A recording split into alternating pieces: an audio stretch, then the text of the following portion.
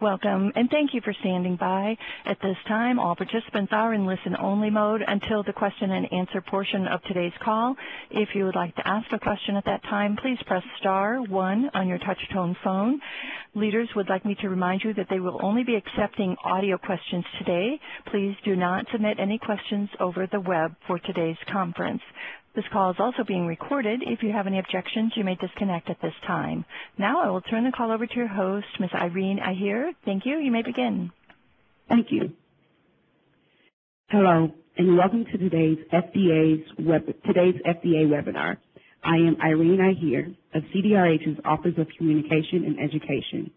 Today we will be discussing the guidance document, Design Considerations for Devices Intended for Home Use which was published on August 5th. The guidance is intended to improve design and quality of home use devices to reduce errors that occur during their use. It provides recommendations that take into account the device user, the environment, the device itself, and its labeling.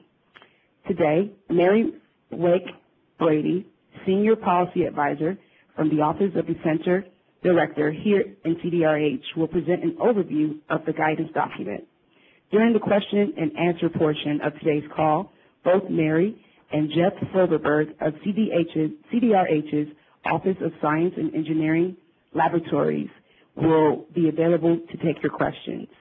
Following the webinar, the slide presentation, audio recording, and written, written transcript of today's program will be available on the CDRH Learn section of the FDA website.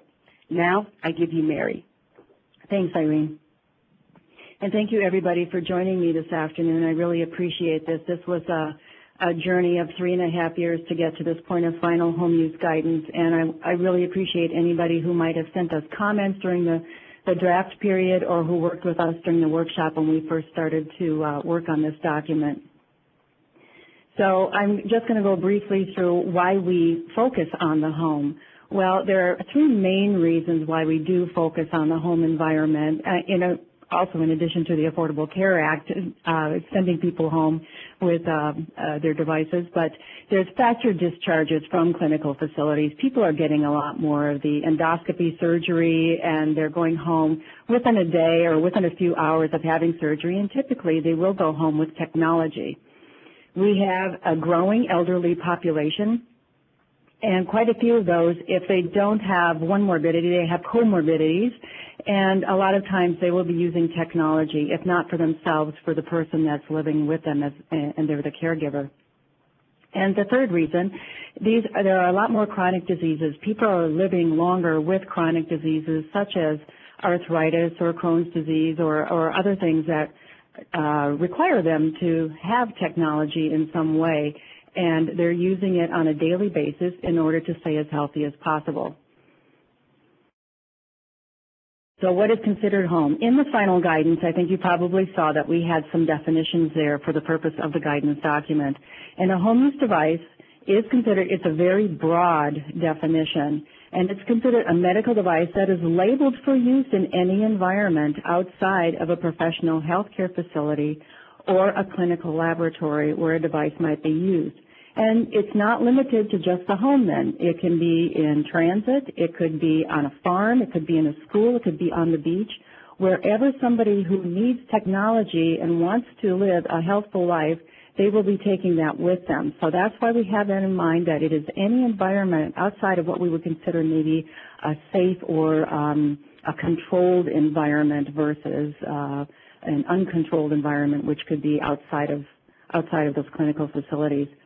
If the device is intended to be used in both a clinical facility and in the home, then it will be considered a home use device, so it will need to be labeled as such.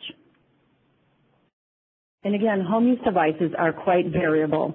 You're not looking just at uh, what we would call the durable medical equipment, and that's a lot of times where people go, and that's at the bottom of the list there. They tend to think of that as being the only home care devices around, but they are quite uh, frequently used in, in many different areas. In fact, I think we did a study and we found out that close to 80% of people go home with some type of technology. The disposals and accessories are part of this. This is looking at your syringes, your IV catheters, your oxygen therapy. You have your implantables, and those are becoming more and more frequent, and it's anything from the shunts to the defibrillators to the left ventricular assist devices and the implants. And you have your uh, computerized medical systems, and those include infusion pumps and dialysis and some of your glucose meters and some of the other things where you have to program something in. And you're also looking at reagents, such as your fecal blood tests and your Lyme disease, pregnancy tests, and don't forget your mobile medical apps. Oh, go ahead. Um, this is as a result of announcing a home use medical device initiative back in April of 2010. And at that point, we did say that we were going to look at five different areas. And we were going to develop guidelines for manufacturers. We wanted to look at a home use device labeling repository, work with accrediting bodies, look at more oversight of adverse events that were happening in the home, and also increase public awareness. I would consider this as increasing public awareness today here and educating you about this guidance. But we really are focusing on number one, which is why I have it highlighted. That's the guidelines for manufacturers. And in this uh, guidance, we have many different areas, but there are three main considerations that we'll be discussing.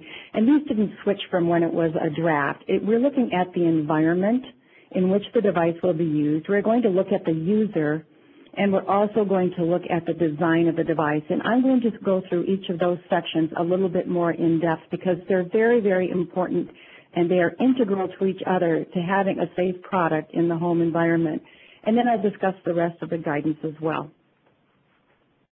So the first area that we're going to look at are the environmental considerations when you're designing something for the home. Having been a home care nurse at one time, um, I can relate to just about everything that we talk about in this particular guidance.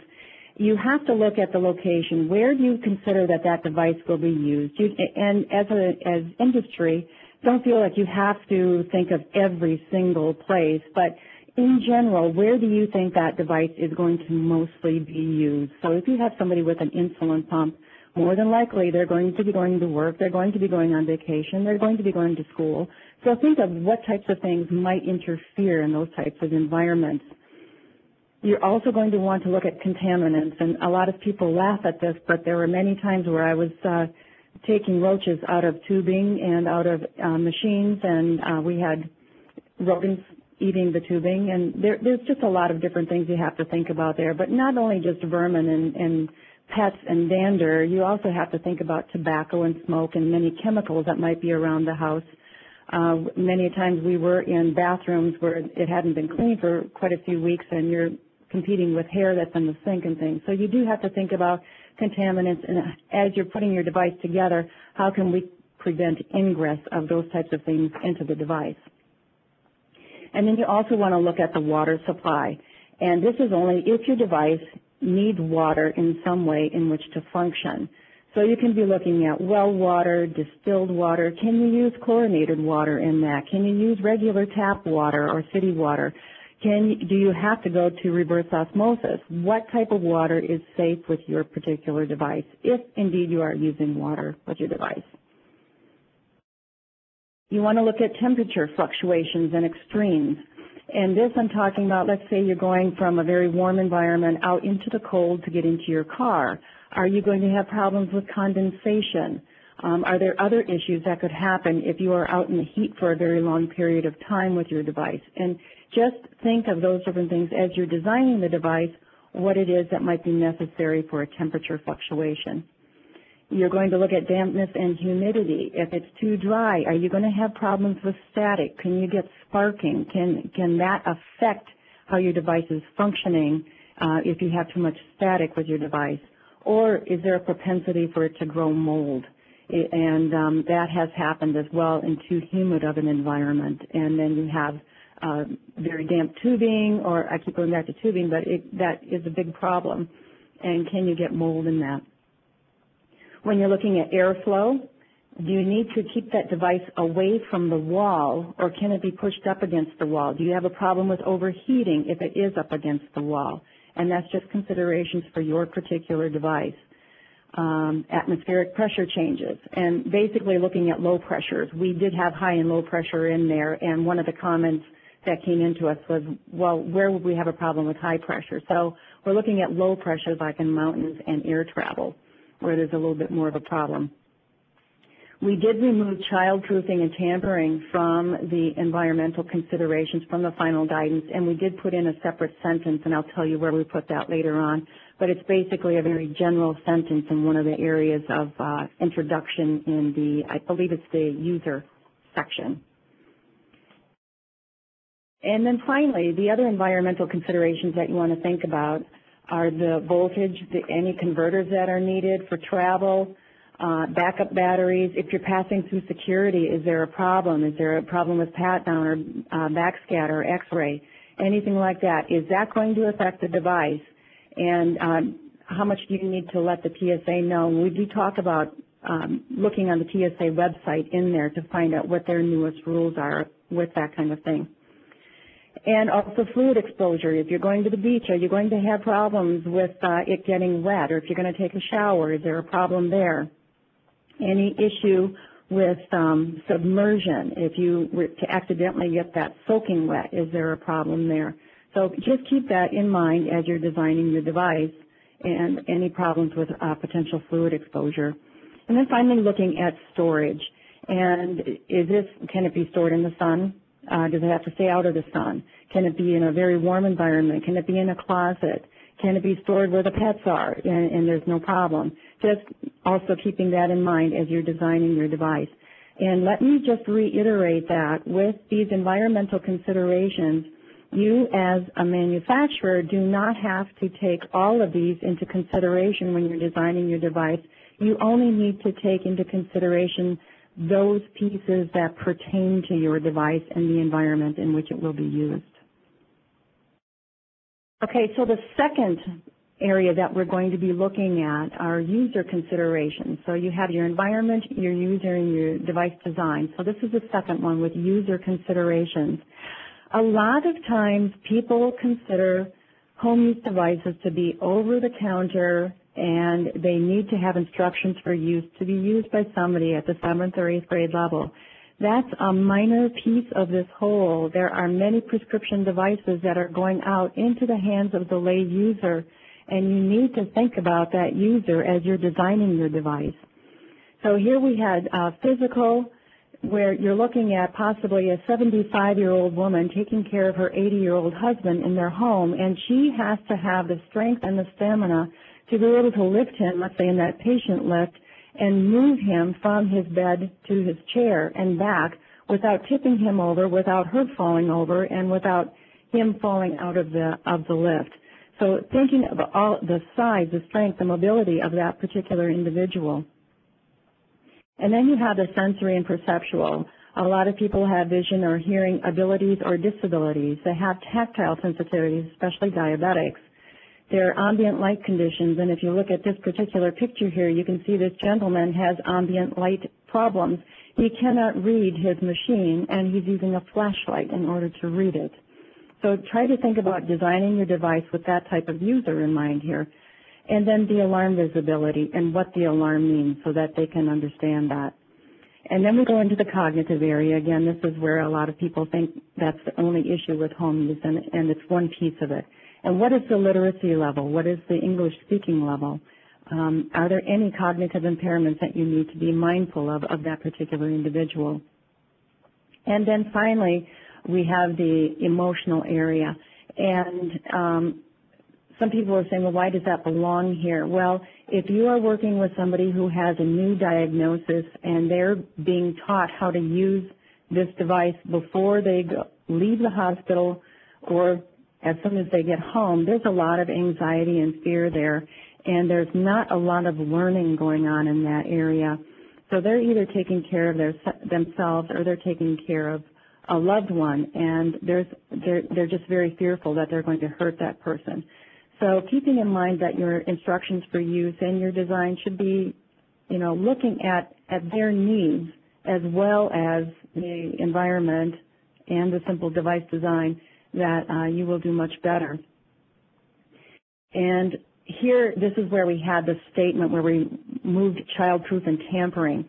So if you look under user considerations in the first paragraph where we explain what user considerations is, we do say you should consider that children or adults might interact with the device in inappropriate ways. So that's how we uh, replace childproof and tampering. We did get a lot of comments on that during the, the draft comment period where people said, let's not use childproof, let's not use tampering. They have bad connotations and childproofing really is not a term that is, is used all that often. So that's why we changed it to inappropriate use. Okay, now the third part that's integral to good device design for uh, devices going into the home environment would be the design consideration. So you have the environment, the user, and now the design. And the first thing that we want to look at here are lockout mechanisms. And we understand that lockout mechanisms do have to exist in certain areas, especially like if it's medication changing or uh, uh, pressure changing on a device. You don't want somebody um, inadvertently or trying to change that to, you know, they say, well, if this dosage is good for me, let me up the dosage and it's probably even better. So there is a need for lockout mechanisms and design those in uh, with a lot of care and understanding that um, it's better not to have them, but if you do need them, that you're taking a lot of care in how you design them. Uh, maintenance. Many people now, uh, lay users, do have to start maintaining their own devices. If they're using them once a day, for example, that device is going to be there with them at all times. So they need to understand how to keep it clean, how to keep it dry, uh, or whatever else that they need to do, how to clean the, the components or the accessories. And a lot of times too, with reimbursement issues, people tend to own their device after a few months of use. They only get reimbursed up to a certain period of time and then they become owners of that device. So they, they are going to need to know how to maintain it. In the area calibration, we prefer no calibration or minimal calibration, understanding that some devices do need to be calibrated. Uh, for instance, glucose meters, if you have a new um, box of test strips or of strips, you will want to use the, the test strip to make sure that it's calibrated to that particular lot number. We prefer that you do have step-by-step instructions when you are if you do have to have a calibration.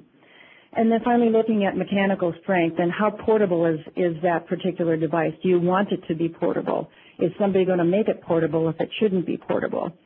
And how can it withstand transport conditions? Can somebody be bumping into things? Can it fall?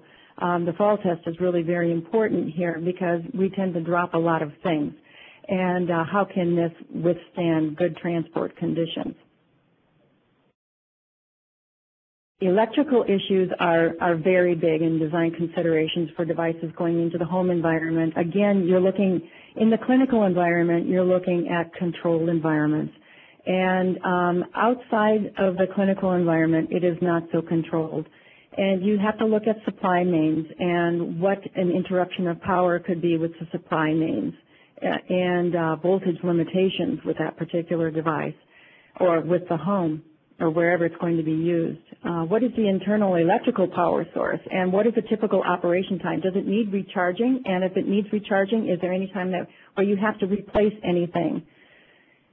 There are permanently installed devices. That you need to have protective grounding. I think of hemodialysis here where they do need to have um, protective grounding with these permanently installed devices outlets and adapters. You can, it's not safe to put a three-pronged outlet into a two-pronged home.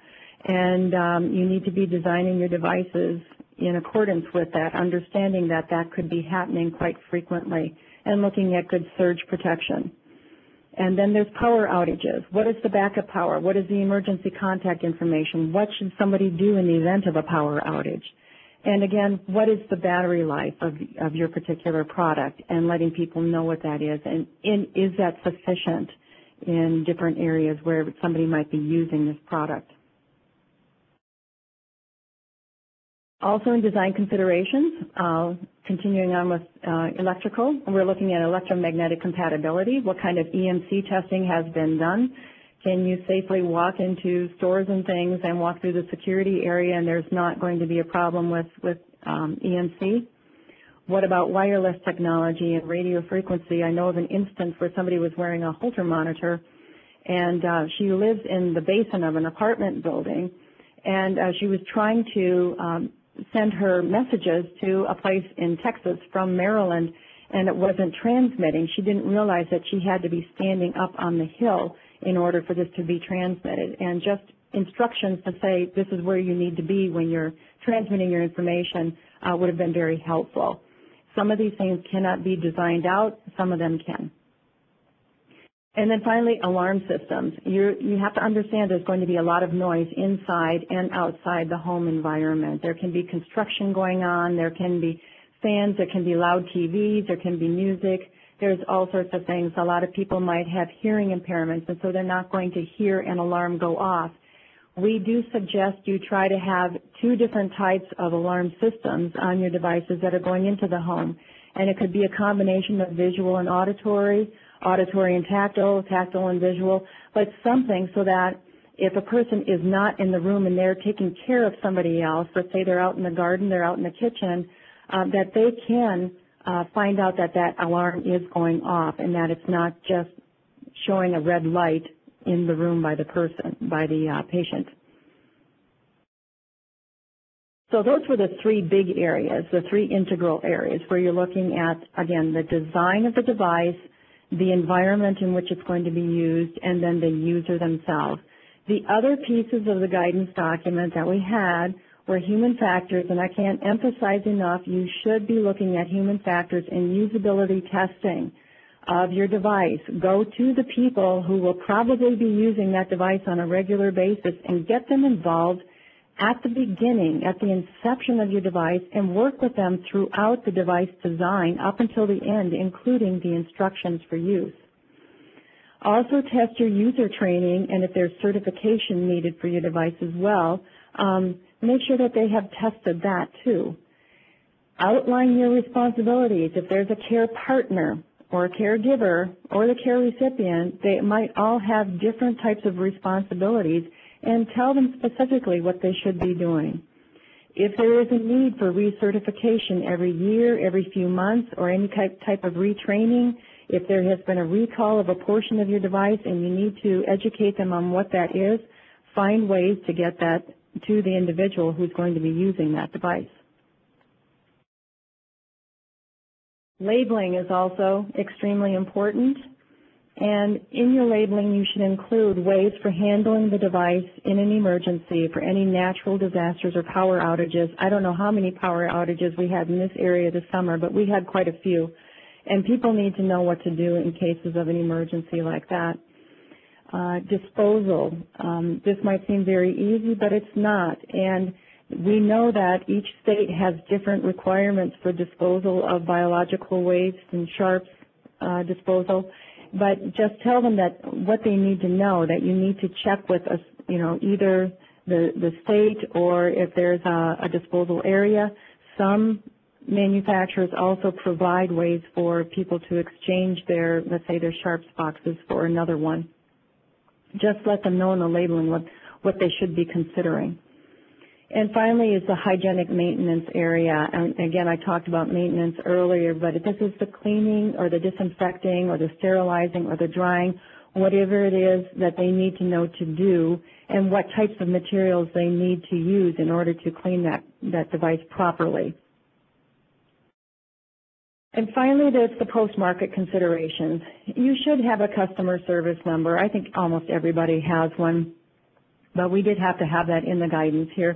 And some sort of technical assistance phone number or a website or an email address, some way that somebody can get in touch with, with somebody and get their questions answered as they're trying to uh, operate their, their, their device, especially, uh, you know, on weekends when when they feel so alone anyway, and there's there's typically no medical assistance available. Uh, there's the medical device reporting. Um, encourage people to report problems to MedWatch, and uh, you, you can allow that. You can also say, no, we did not necessarily put that in the guidance. If you want to add that in, you are allowed to do that. We did remove in the final guidance document, we did remove a, a section about selling and purchasing used prescription devices we believe that industry really does not have a lot of control over where their products go after a period of time, and so we did we did take that out of there. So in closing, let's see here. Get. Um, home use devices, they need to be, this is something I constantly preach, they need to be useful. And, and in order, if they're useful, they will be usable. There should be iterative. You should be able to follow step by step what it is you need to do um, to operate that device safely. It should be intentional. Anytime you interact with that device, there should be an intentional thing that happens. If it's feedback, if it's another step, whatever it is, it should be intentional. Um, intuitive, uh, people argue what is intuitive, but it, as much as possible that you can just operate it kind of like your smartphones, that, that it ends up being pretty intuitive, and if you do make a mistake, you can go backward and not, not feel like you um, just hurt somebody. They should be integratable. You should be able to integrate them into your, into the person's uh, normal lifestyle and that it doesn't stand out. And you know, a lot of young people with their with their insulin pumps, they want something that looks really cool. And so they want to have it integrated into their environment and not have them stand out from the rest of, of everybody else. It should be informative and it should be informative to the point where it gives you the information you need. A lot of people, and this is where you can, um, you know, do things based on people who have who, who are very um, comfortable with their device versus people who are not real comfortable with their device. But it gives them the information they need, and if they like to have a little bit more information, that you can add that in there for people who like to have a lot of information. But uh, don't overwhelm people with information that may not be necessary. And it should address those risks that are unique to the home environment and allowing people to live the way that they want to live. And these are just a few people um, with safe and reliable devices that lead to living well. And that concludes my talk.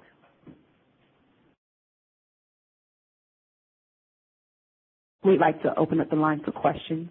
Thank you. If you would like to ask a question, please press star one on your touch-tone phone. You will be prompted to record your first and last name. Please check that your phone is unmuted before you record. You'll be called on at your turn. If you're in the queue and then decide to withdraw your question, you can do so by pressing star two. One moment to give your participants time to queue up, please.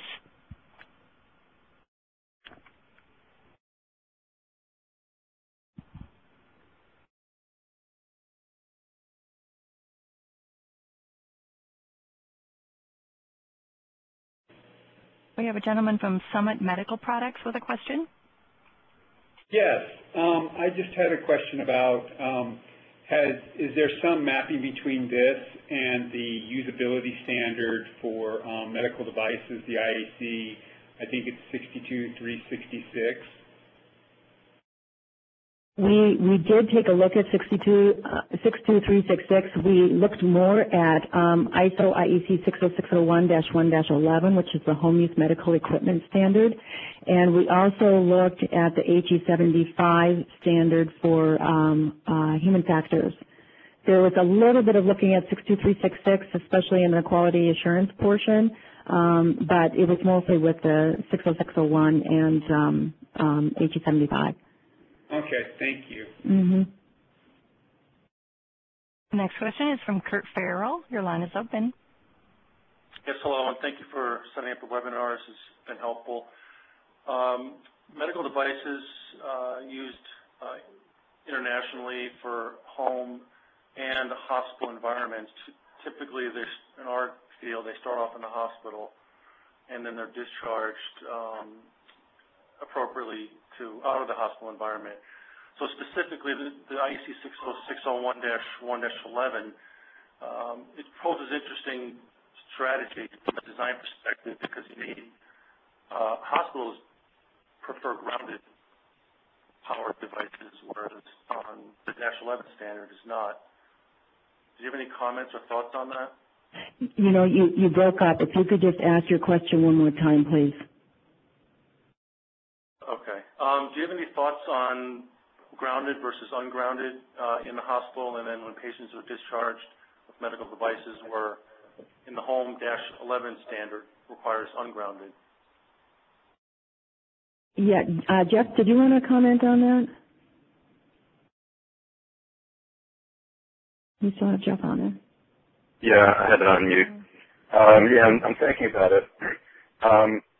I, believe that, that you can, I, I understand the question and um, I agree that usually equipment in the uh, hospital is, is um, has a protective earth, but it doesn't have to be. I mean, you can have you can have uh, equipment in the hospital with just you know double insulated with two prongs also.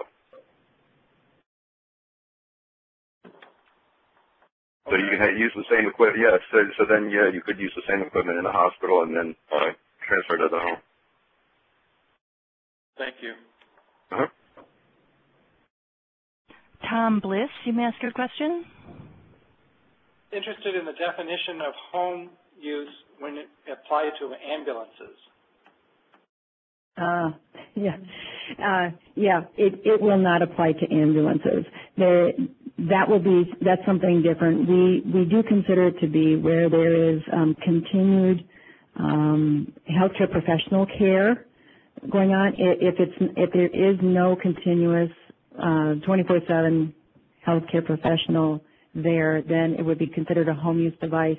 Uh, with ambulances, and we did go back and forth about this both in in um, 60601 and also here, but ambulances do have healthcare professionals with you continuously.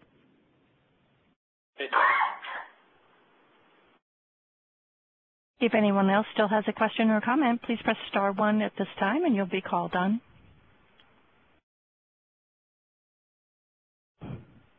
One moment, we have another one coming up. Khalid Nishma, your line is open. Okay. Uh, as for uh, a medical device manufacturer, it seems like there is a lot of uh, approval requirements for uh, the type of of devices that manufacture. I understand there is like a CM, uh, uh, EMC requirements. There is an ISO 60601 requirements. Is there any uh, a listing for what kind of approval needs to be uh, performed for what medical device manufacturer? Is there any uh, reference that we could use to see what exact testing and approval that requires for for what devices? Thanks. I, I'm I'm not sure that I, I understood the question. You're you're asking is there a reference for like for example, we're we're lighting manufacturing. We're manufacturing lights used in the surgical rooms and out outpatient rooms. Now, there is a certain testing required to approve this kind of uh, devices. Like we have to do EMC testing, we have to do a safety testing. And those are required for the lighting. Now, let's assume something used in the surgeries like a catheters or some other devices used in, in other uh, end users like clinical or hospital. What other approval or testing required for those catheters, and, and so on. It's, it's, I'm sure there's a huge list for what is required for what, what is approval requirements for what devices. Is there any kind of reference for that from the FDA uh, uh, perspective? Yeah, um, that, that's a that's a very loaded question because there are so many different requirements depending on the type of device and the medical specialty. So, I think what you should do is is uh, if you have a particular device that you're concerned about, um, send it. There's a thing up on there that called dice at fda.hhs.gov. Go ahead and send your question there. It, it's a pre-market concern that you have, and it may be outside the, the um, um, what what we're doing here with the home use.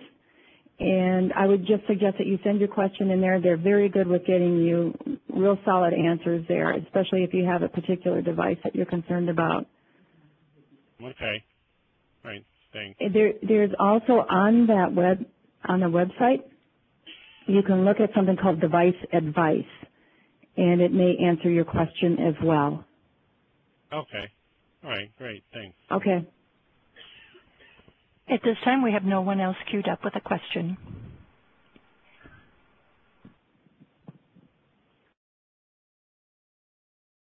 Thank you. This is Irene Aihie. And thank you for, part- for your participation and questions today. Ma'am, we do have questions coming up again. Mm.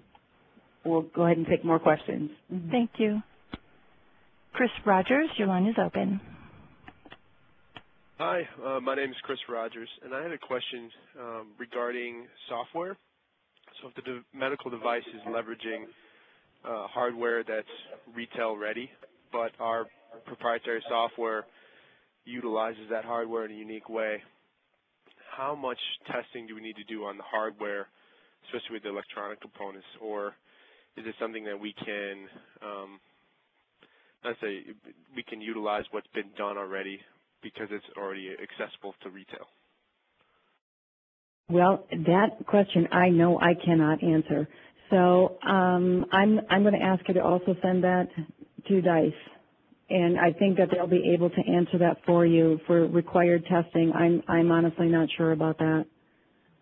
Yeah, I, I might be able to get a start on that. Uh, I think, as often happens, the answer is it depends, and um, it, it really depends on how it's used. If it's, for example, if it's used in the vicinity of a patient, it might need some of the electrical safety testing.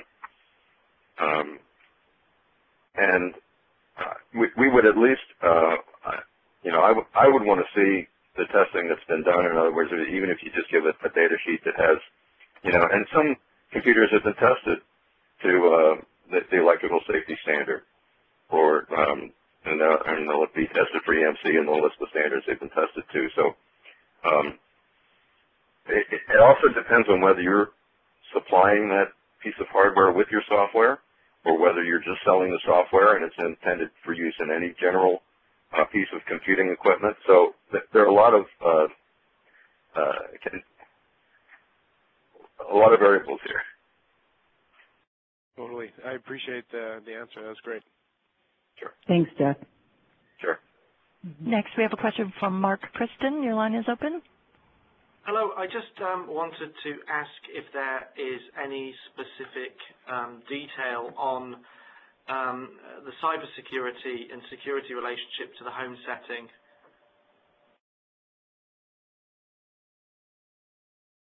At, this point, FDA is still working on the, the cybersecurity issue. So uh, we'll be factoring that in as we put the cybersecurity area together.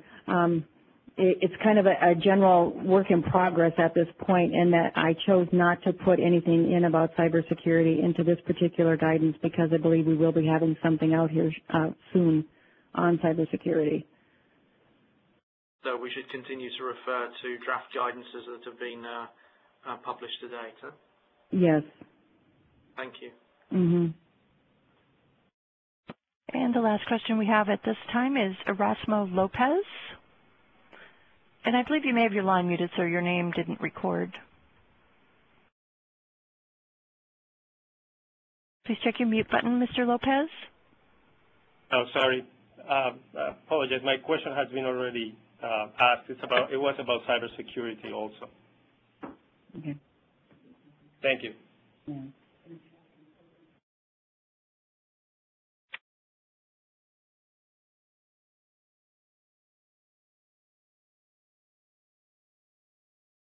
Was there another question?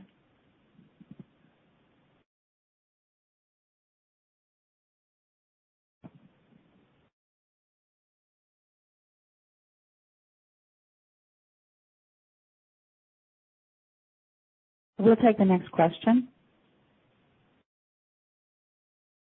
My apologies, ma'am. My line was failing there for a moment. Mm-hmm. Okay. Aditya Sukanthar. Uh, yeah, my question was that uh, would these devices for home use be given an RX slash OTC designation? What, what type of designation? Uh, prescription or, or OTC designation, or both. Yeah, they they can be both. They they can be prescribed or they can be over the counter. We're we're looking at both because so many devices that were prescription before and just being used by healthcare professionals are now going home with the lay user. So we have to address that particular area to understanding that devices are migrating into the home quite frequently. Okay. Okay? Thank you. That, yeah, that was my question. Thanks a lot. Okay. And so far, that looks to be our last question. Okay. And I'll wait 10 more seconds just in case right, someone else has a question. It's star one and record your name when prompted.